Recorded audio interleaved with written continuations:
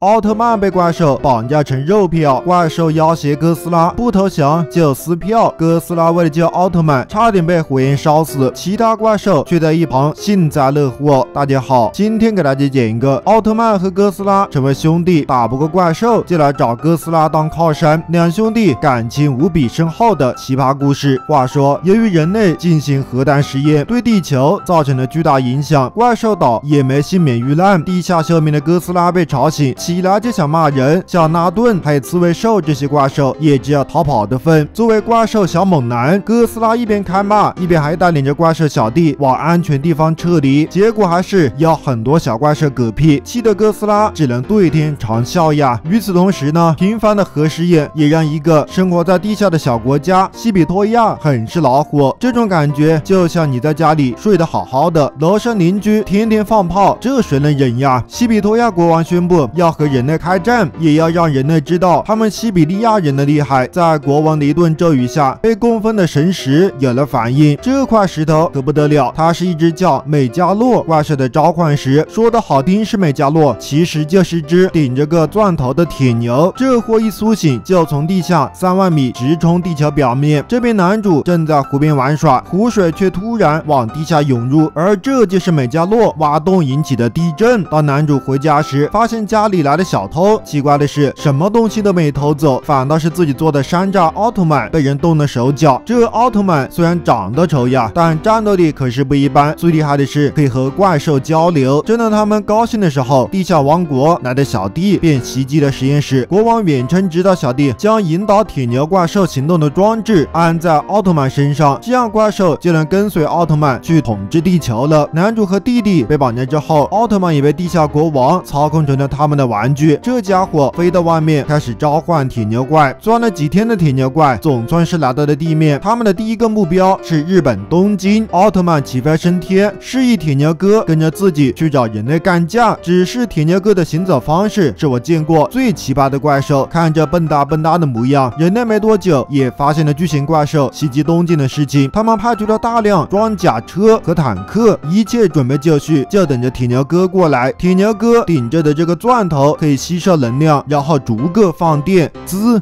滋。滋！人类的高科技在他面前就是活靶子。打完之后，铁牛怪又蹦哒蹦哒，好开心的离开了。男主逃出来之后，向将军建议用电磁波夺回山寨奥特曼的控制权。他们用直升机成功和奥特曼联系上，命令他去怪兽岛找哥斯拉帮忙。奥特曼来到怪兽岛时，哥斯拉看样子也早就在等着他。奥特曼用手语请求哥斯拉出战，一顿瞎比划。嗯。是这么回事呀！哥斯拉居然还真听懂了，等着，马上就行动哈！就这样，奥特曼真的搬到了救兵。哎呀，一个青蛙跳，哥斯拉就从水路赶着去打架去了。铁牛哥失去奥特曼的指挥之后，居然在地上自残，瞬间战斗力为零，成为了飞机的肉靶子，被飞机打得哇哇直叫，最后只能蹦哒蹦哒又回家去了。国王知道人类派奥特曼找哥斯拉帮忙，他们也通过复活岛的石像向宇宙发出。求救信号。此时，哥斯拉还在海里慢慢赶来，铁牛哥却在东京修起的房子。只要被他的钻头电过的房子，立马就会被修好。哎呀，看着很厉害呀！房子修完了，还能做点什么事情呢？顺便把控制他的地下主人也祸害死了，实在是优秀的好怪兽呀！眼看着小怪兽叛变了，国王赶紧派出了新的怪兽蚂蚱哥。晚上，恢复机的奥特曼开始了和铁牛哥单挑，在打架之前，居然还知道放大自己。不过。整这些都是没用的，轻松就被铁牛哥给推倒，抱在一起，谁也起不来。几分钟之后，铁牛哥发出爱的转圈圈，奥特曼有点上头，果然招架不住爱的魔力，又被铁牛哥给推倒。这边国王派出的蚂蚱哥终于赶了过来，奥特曼被两只怪兽推倒，群殴的那叫一个惨呀！两只怪兽还想好了，把奥特曼当做皮球踢来踢去，这叫奥特曼怎么看得下去呀？终于啊，哥斯拉抄着拳头赶了过来，看。着这活泼快乐的模样，还不忘跟吃瓜群众互动一下，这怕是我见过最开心的哥斯拉，一副就要参加拳击手比赛的模样。哥斯拉冲着怪兽说。